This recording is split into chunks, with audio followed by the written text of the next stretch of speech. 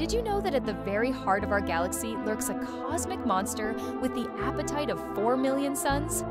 Meet Sagittarius, a star, a supermassive black hole sitting right at the center of the Milky Way. This invisible giant is literally eating our galaxy from the inside out. Every few years, it devours the equivalent mass of our entire planet, consuming gas clouds and dead stars. We can actually watch stars racing around this monster at 3,000 miles per second. These stars complete full orbits in just 16 years, trapped in a deadly dance. The black hole's gravity is so intense, it warps time itself, making clocks tick slower near its edge.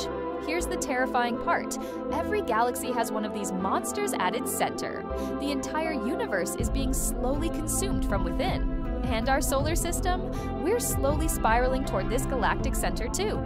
Don't worry though, it'll take billions of years before we reach the point of no return. Sweet dreams.